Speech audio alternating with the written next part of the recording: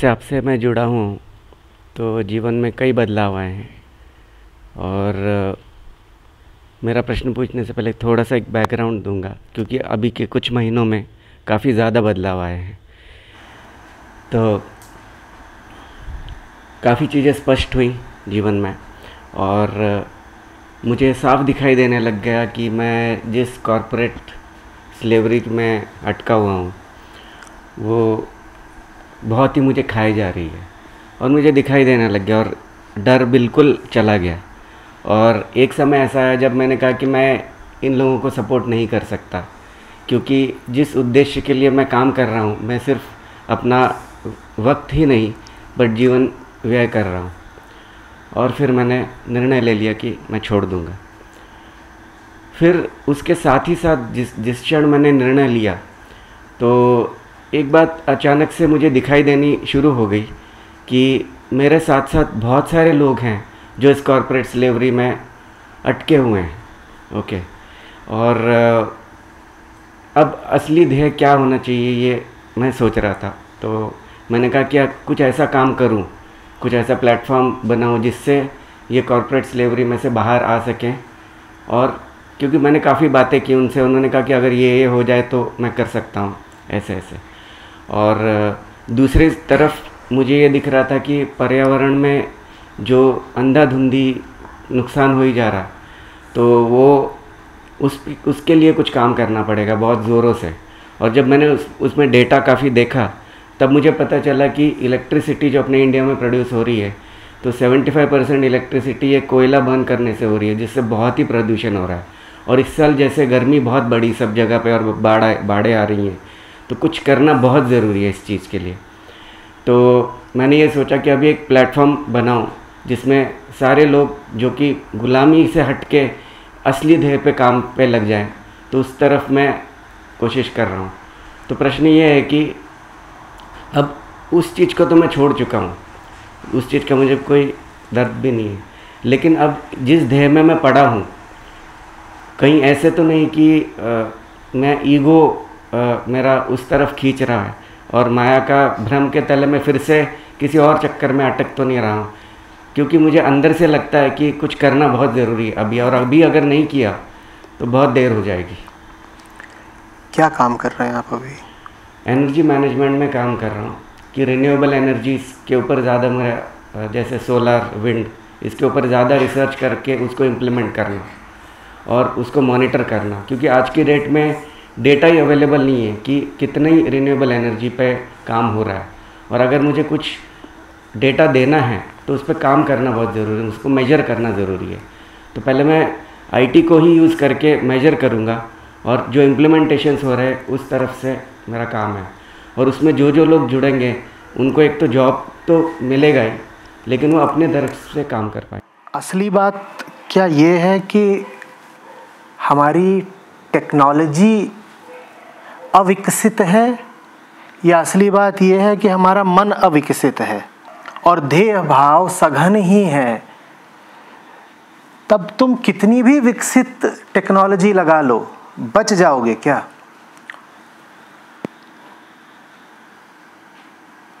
बोलो। तुम्हारी पुरानी मशीन की एफिशिएंसी 25 प्रतिशत थी। तुम्हारी नई मशीन की एफिशिएंसी 50 प्रतिशत है। तुमने ज़बरदस्त टेक्नोलॉजी लगा दी। ठीक है? तो जितनी ऊर्जा तुम पहले ही खाते थे, अगर उतनी ही ऊर्जा अभी खाओ तो कुल ऊर्जा की खपत कितनी हो गई? आधी। क्योंकि जो मशीन है, अब वो डबली एफिशिएंट है, दूनी एफिशिएंट है। लेकिन अगर तुम कहो कि मुझे उतनी ही ऊर्जा खानी है जितनी अमेरिका का एक आदमी खाता है, और तुम अपनी ऊर्जा की खपत पचास गुनी कर दो तो डबली एफिशिएंट मशीन भी क्या कर पाएगी? कुल मिला करके तुमने यही तो करा कि अपना जो उत्सर्जन है एमिशन है, वो कितना कर दिया? पच्चीस गुना। बात समझ रहे हो? जब बात मन के झूठ की है लालच की है धोखे की है तो टेक्नोलॉजिकल डेवलपमेंट कैसे तुमको बचा ले जाएगा? अच्छा एक बात बताना। आज से 40 साल पहले हिंदुस्तान की सड़क पे कौन सी गाड़ियाँ चलती थी? मैं कारों की बात कर रहा हूँ। एम्बेसडर और फीएट चलती थी। मान लो पेट्रोल पर चलती थी माइलेज क्या देती थी? आठ, दस फीएड दे देती थी दस बारह का एम्बेसडर दस का भी नहीं देती थी। आठ, ठीक। आज की जो गाड़ियाँ आई हैं, वो उनसे दूना माइलेज देती हैं। देती हैं कि नहीं? यानी कि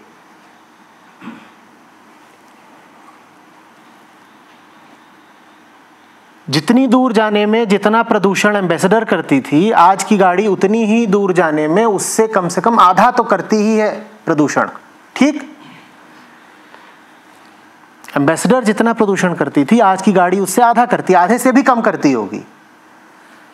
तो प्रदूषण का स्तर 40 साल पहले के मुकाबले आज आधा हो जाना चाहिए। आधा हुआ है क्या? टेक्नोलॉजिकल डेवलपमेंट इतना हो गया। तुम्हारी जो नई गाड़ी आई है, वो एम्बेसडर के मुकाबले आधा प्रदूषण करती है। तो फिर तो 40 साल पहले की अपेक्षा आज वातावरण में sulphur dioxide, carbon monoxide, carbon dioxide, hydrogen sulphide, particulate matter, इन सब का स्तर कितना होना चाहिए? आधा होना चाहिए। आधा हो गया है क्या? क्यों? टेक्नोलॉजिकल डेवलपमेंट तो हो ही रहा है भाई। टेक्नोलॉजिकल डेवलपमेंट तो हो रहा है ना? उससे क्या प्रदूषण बच गया या प्रदूषण और दस गुना हो गया है? तुम ये भी तो देखो कि तब अगर एक गाड़ी थी सड़क पर तो आज एक की जगह चालीस है। जिस टेक्नोलॉजिकल डेवलपमेंट ने गाड़ी के इंजन की एफिशिएंसी बढ़ाई है, उसी टेक्नोलॉजिकल डेवलपमेंट ने तुम्हारे हाथ में एक की जगह 40 गाड़ियाँ रख दी हैं। तो कुल मिलाकर इस टेक्नोलॉजिकल डेवलपमेंट का नतीजा क्या है? कम प्रदूषण या ज़्यादा प्रदूषण? अगर टेक्नोलॉजिकल डेवलपमेंट उनके हाथों में है, जिनका मन अभी देहवाद, भोगवाद, लालसा और लालच से मुक्त नहीं है तो हर प्रकार का तकनीकी विकास टेक्नोलॉजिकल डेवलपमेंट आत्मघातक ही होगा। लोग कह रहे हैं कि मांस छोड़ो, दूध छोड़ो विगनिज्म की तरफ़ जाओ। अभी मैं खबर पढ़ रहा था कि विगन वीगन लोग सोया का उपभोग खूब करते हैं। नतीजा ये हुआ है कि अब पेड़ काटे जा रहे हैं सोया की खेती के लिए। दुनिया की आबादी मान लो पूरी भी वीगन हो जाए और लगे सोया खाने तो भी क्या दुनिया बच जाएगी? तब तुम सोया के लिए पेड़ काटोगे। पेड़ काटोगे, खेत लगाओगे किस चीज़ के? सोया के खेत लग रहे सोया की फ़सल उसमें लगाई जा रही है। तुम किसी भी तरह का तकनीकी विकास कर लो। जब तक तुम्हारा मन साफ़ नहीं हुआ है, तब तक वो तकनीकी विकास तुमको भारी ही पड़ेगा, पलट के तुम पे वार करेगा। भाई, पिछले 300 साल का इतिहास देख लो तो टेक्नोलॉजिकल डेवलपमेंट तो होता ही जा रहा है ना। कोयले का जो इंजन होता था स्टीम लोकोमोटिव उसकी क्या एफिशिएंसी होती थी और आज का जो इलेक्ट्रिक लोकोमोटिव है, उसकी क्या एफिशिएंसी होती है? कोई तुलना ही नहीं है। लेकिन कुल प्रदूषण तब ज़्यादा कर रही थी रेलवे या आज ज़्यादा कर रही है? बोलो, आज ज़्यादा कर रही है ना? क्योंकि जिस भावना के चलते तुम कोयले से उठ करके बिजली के इंजन पर आए हो, उसी भावना के चलते तुमने एक कोयले के इंजन की अपेक्षा पचास बिजली के इंजन खड़े कर दिए हैं। उसी भावना के चलते तुमने हर दिशा में अपने भोग का प्रसार कर दिया और अपनी आबादी बढ़ा ली है। तो ये बात कि मैं पहले कॉरपोरेट स्लेवरी में था, अब नहीं हूँ, इस बात में कोई दम नहीं।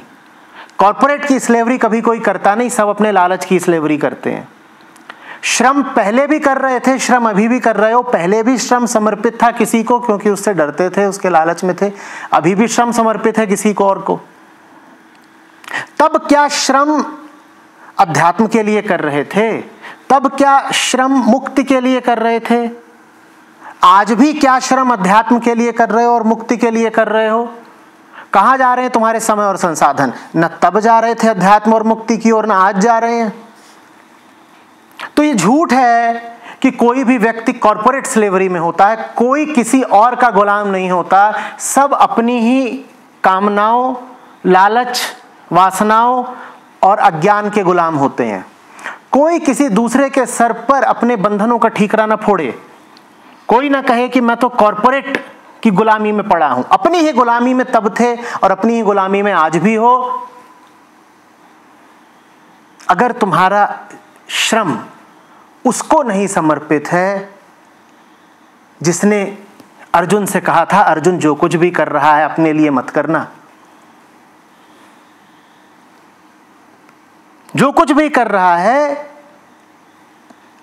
मुझे समर्पित कर। आज भी तुम्हारे समय, तुम्हारे संसाधनों की दिशा किधर को है, बोलो। मौखिक बातचीत से काम नहीं चलता। तथ्य बताओ और आंकड़े बताओ। जो कर रहे हो, उसका परिणाम किसको समर्पित कर रहे हो?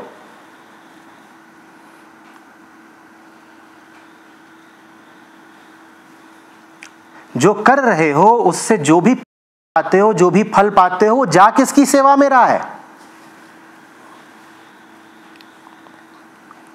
जब मन बदलेगा, तब दुनिया को हो रही क्षति बदलेगी, तकनीकी विकास नहीं बचा लेगा। यह बहुत बड़ी भ्रांति है। लोग कहते हैं, प्लास्टिक का उपयोग कम करो। हर तरह के रिन्यूएबल रिसोर्सेज की बात करते हैं। तमाम तरह के वस्तुओं के पुनर्चक्रण की बात होती है। कुछ नहीं होने वाला इससे। टेक्नोलॉजी अधिक से अधिक इतना ही करती है कि मशीन की एफिशिएंसी बढ़ा देती है। एक नई मशीन ले आ देती है जो पहले की अपेक्षा कम संसाधनों में वही काम कर देगी। टेक्नोलॉजी इतना ही तो करेगी ना। पर टेक्नोलॉजी तुम्हारा मन थोड़े ही बदल देगी। जैसे ही तुमको दिखाई देता है कि कोई काम पहले दस रुपए में होता था, अब पाँच रुपए में हो रहा है, उसको करने वालों की संख्या दस गुनी हो जाती है। क्योंकि इसी को तुम प्रगति कहते हो कि ज़्यादा लोगों के हाथ में पैसा पहुँचे, ज़्यादा लोगों के हाथ में संसाधन रहे, जितना ज़्यादा लोग उपभोग करेंगे कंज्यूम करेंगे, उसी को हम कहते हैं कि डेवलपमेंट हो रहा है। जीडीपी नापा ही कंजम्पशन से जाता है। दो ही तरीके हैं प्रोडक्शन से नाप लो या कंजम्पशन से नाप लो। दोनों का अर्थ एक ही है, उपभोग।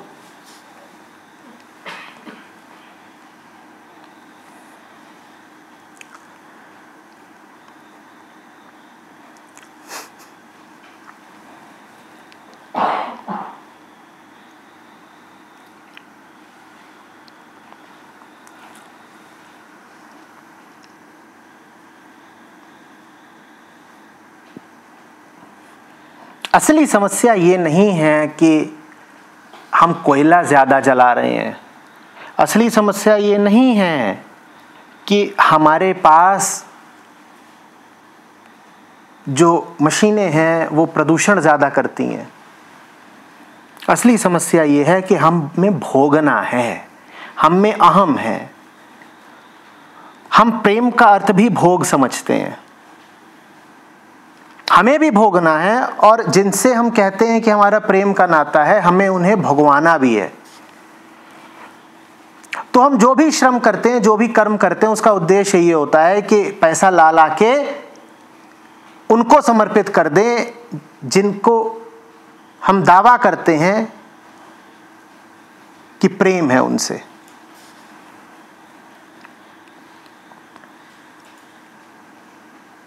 व्यक्ति बड़ा खुश होता है जब अपने परिवार को और ज़्यादा भोग की सामग्री दे पाता है।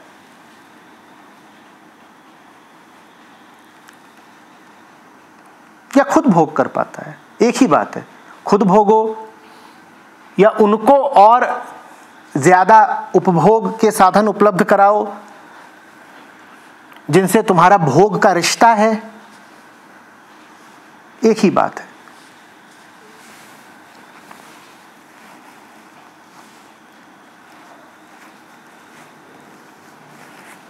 मैं इस बात को बहुत ज़ोर दे करके कहना चाहता हूँ, क्योंकि बहुत लोग इस भ्रम में जी रहे हैं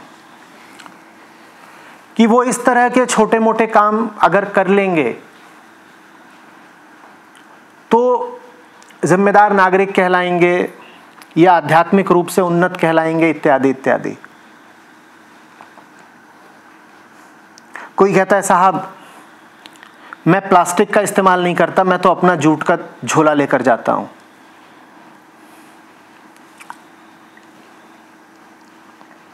कोई कहता है, मैं अपने घर में एसी पहले 22 डिग्री पे चलाता था, अब 26 डिग्री पे चलाता हूँ। मैं जिम्मेदार नागरिक हूँ। कोई कहता है, मैंने हाइब्रिड कार ली है, मैं जिम्मेदार नागरिक हूँ। कोई कहता है, मैंने सीएनजी किट लगवा ली, मैं जिम्मेदार नागरिक हूँ। लोग ये सब काम करके अपने आप को नैतिक सांत्वना देते रहते हैं।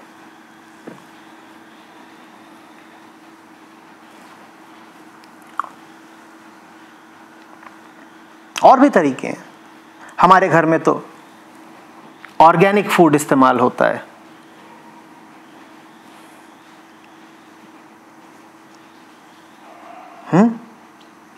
हम तो जी छोटी छोटी दूरियाँ पैदल चले जाते हैं, या साइकिल से चले जाते हैं। और ये सब करके हमारे अहंकार को बड़ी तुष्टि मिलती है कि देखो, पूरी दुनिया तो पर्यावरण को आग लगा रही है, हम बड़े जिम्मेदार लोग हैं। हम साइकिलिंग करते हैं, हम वॉकिंग करते हैं। इससे कुछ नहीं होने वाला। बल्कि ये घातक है, क्योंकि ये आपको झूठे भरोसे में रख रहा है, झूठी सांत्वना में रख रहा है कि ये सब करके आपके कर्तव्य की इतिश्री हो गई, ये सब करके आपने अपने धर्म का पालन कर लिया। नहीं, बिल्कुल नहीं। तुम ये जो काम कर रहे हो, ये सागर में बूंद समान भी नहीं है। ये बल्कि सागर से कुछ निकाल लेने का ही समान है। तुम्हारे इन कर्मों से न दुनिया का, न पर्यावरण का कोई भला नहीं होने वाला।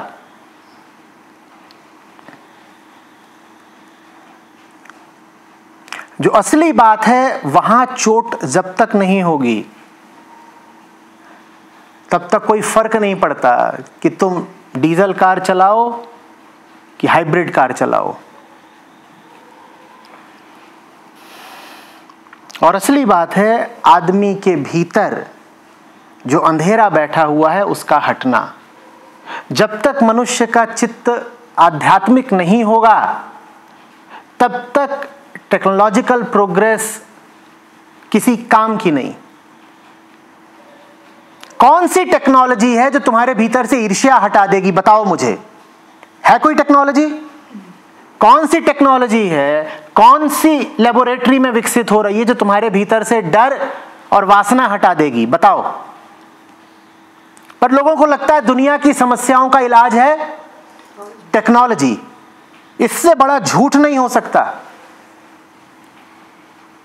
कई कंपनियाँ चल रही हैं जो कहती हैं कि we exist to leverage the creative power of technology to create a better world मूर्ख। तुम्हारी बुनियाद ही झूठी है।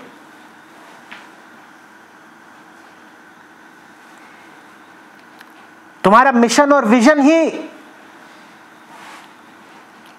बिल्कुल झूठा है।